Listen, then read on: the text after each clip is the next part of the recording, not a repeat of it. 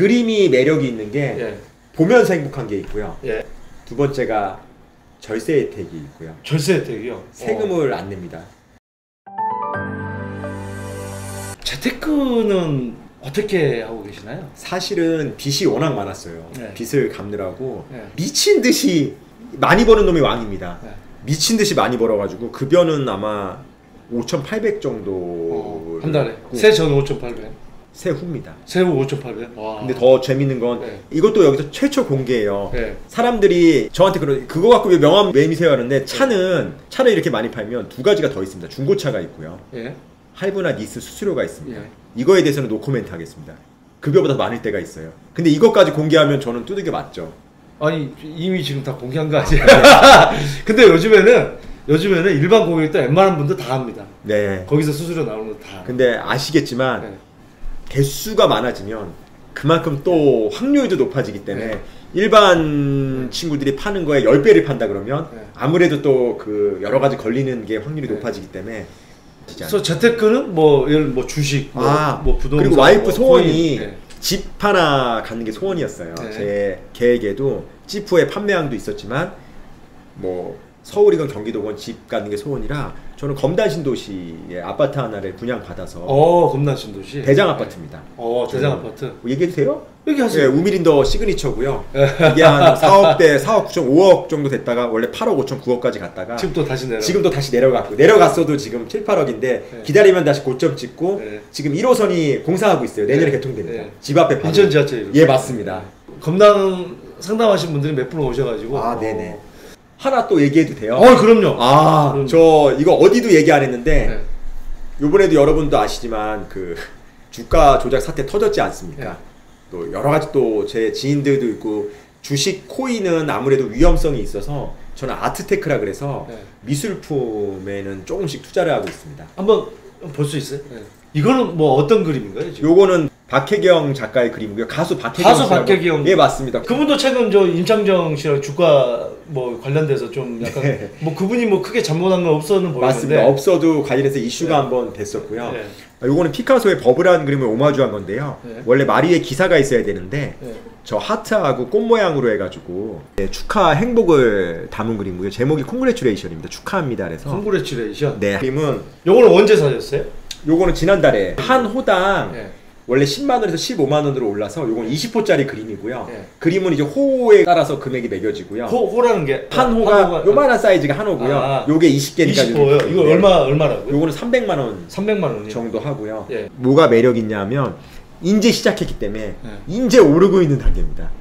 어... 이 처녀작이라 그래서 이런 작품들은 되게 많이 엄청 많이 어, 올라가고 박혜경 씨가 이제 그림을 시작했다는 얘기죠. 작년부터 작년부터 작년에 해서? 첫 해 올해가 2회인데 네. 이제 10만 원에서 호당 올해 15만 원으로 올랐고요. 네. 또좀 있으면 이게 20만 원, 25만 원 어. 올라가면 이 300짜리 그림은 좀 있으면 또 이제 500, 600 이렇게 500이 될수 올라가고. 있고. 근데 이거를 저뿐만 아니라 네. 제 친한 후배들이나 지인들도 또 많이 가지고 있어요. 그래요? 예. 근데 이제 자기 엄마한테 선물해 주는 경우도 있고 네. 뭐 부모님 가게에다 거는 경우도 있고 보면서 행복하면서 음. 제일 매력 있는 건 이제 가격이 오르는 거죠. 음. 아, 요거는 100호짜리 제일 큰 그림인데요. 네. 요건 100호면은 진짜 이, 이따만한 그림입니다. 여기에 이 아홉 가지 그림이 담겨져 있고요. 어... 요것도 천만 원에서 천오백으로 올랐어요. 작가가 어떤 분이세요? 박희경 작가 그림. 아 이것도 박혜경. 이게 제일 큰 그림이에요. 네. 어느 회장님도 구매하셨거든요. 어. 근데 볼 때마다 기분이 좋대요. 아니 똑같은 그림을 여러 개 지금 팔 수가 있어요? 살짝은 다를 수 있는데 예. 주문하면 비슷하게 그릴 수가 있어요. 자기만의 스타일이 있어가지고 요거는 아홉 가지를 합쳐놓은 거고 아까 같이 한 가지도 있고 해서 아 레몬추리가 아마 그 박혜경 씨 노래 제목도 레몬추리가 있는 거. 어 맞습니다. 노래 제목도 레몬트리가 있어요. 아니 그 박혜경 씨 제가 노래 진짜 좋아해요. 박혜경 씨, 나 이거 너무 옛날 사람 되나? 양수경 씨, 어, 네. 양수경, 박혜경 노래 그런 노래 좋아합니다. 예. 어 재밌는 게 그 장혜진 씨도 있고요. 예. 김한선 선배님도 예. 작품 전시하고 있어요. 그래요? 예, 그러니까 네. 요새 가수분들이 네. 재능도 있지만 또 미술품을 많이 그리고 있습니다. 그림이 매력이 있는 게 예. 보면서 행복한 게 있고요. 예. 두 번째가 절세 혜택이 있고요. 절세 혜택이요. 세금을 안 냅니다. 어, 느 정도까지 안? 6천만 원 미만이고 예. 작가가 생존해 있으면 예. 우리나라에서 아직 그림을 장려하는 거기 때문에 세금이 없습니다. 어. 작가가 만약에 그러면은 작가가 만일에 돌아가시면 양도일 기준으로 돌아가시면 예. 세금이 붙어요. 아, 양, 어떤 양도할 때 돌아가신 작가면. 네. 근데 현재 살아 계신다. 네. 그러면은 그림은 하여튼 세금이 없어요. 박혜경 씨가 오래 살기를 바래야 되겠고 그 전에 파셔야겠네.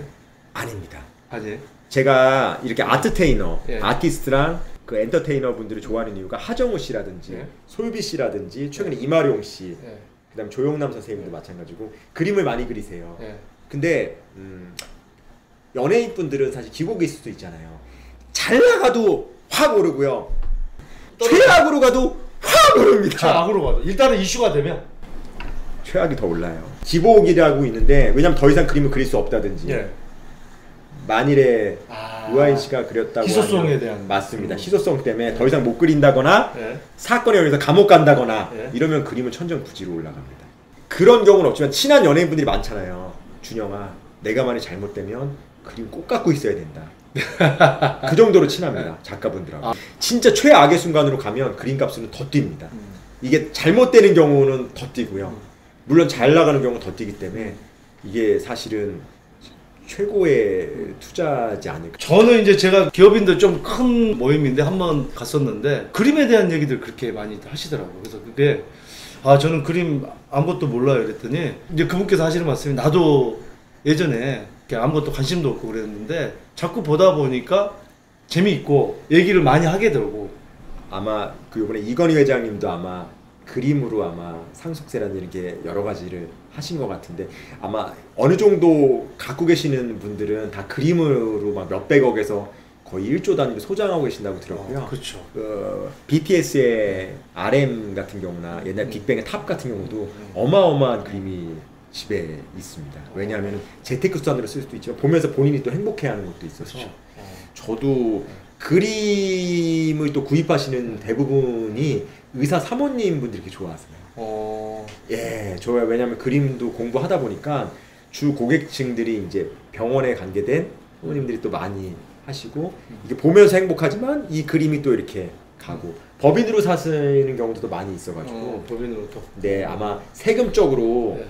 이게 아직까지는 너무너무 혜택이 많아서 요 이걸로 절세 혜택이 많아요. 박혜경 씨가 저기 커피 한 잔 사셔야 될 것 같아요. 지금 박혜경 씨 지금 그림이 이게 저 간접적으로 홍보가 되고 있는데 아, 이거 밥 사라고 하겠습니다. 지금은 이제 비타 갖고 미술품으로 이제 좀 재테크를 좀 시작하고 있다. 어, 주식이나 뭐 그런 건 안 하시고. 아, 아직 뭐, 못 하고 있습니다. 아, 사실은 주식이라는 게 뭐 몇만 원만 있어도 할 수는 어, 있잖아요. 맞습니다. 근데 이제 네, 아직 주식이나 코인은 아직 네. 이제 신경 쓸 여력이 없어서. 이제 그래도 집은 살 집이 있어야 되니까 분양을 받으셨고. 어, 네, 맞습니다. 분양 어떻게 또 잘 받으셨네요. 분양 받아서 네. 네, 열심히. 아, 그러니까 와이프가 행복하더라고요. 네. 이게 뭐 서울이든 경기도든 상관없이 자기 집이 있다는 거. 그 언제 받으셨죠? 이게? 어, 작년 2월에 입주했습니다. 어, 작년 2월에 입주했으면 그 분양 시기가 한 2, 3년 전, 한 3, 4년 전이니까. 네, 맞습니다. 그 지금 그래도 꽤 올랐잖아요 분양가 대비해서 어쨌든 집으로도 재테크를 하신 셈이 되신 거고 물론 실거주 차원에서 분양 받으신 거고 네, 맞습니다. 또 뭐 그림도 이렇게 하고 계시고 근데 이제 강남 3구라든지 여기에 비교해서는 뭐 비교도 안 돼. 다 그게 단계가 있는 거죠 한 번에 뭐 아니 근데 뭐 강의 많이 다니시고 네네. 또 부업이 또 본업이 될 수도 있어요 그건 몰라요 그거는 뭐 어, 맞습니다. 강의로 정말 유명세를 타셔가지고 뭐 그게 몸값도 계속 올라가고 찾아주시는 데도 많으시면 네네. 그게 뭐 본업이 될 수도 있는 거고.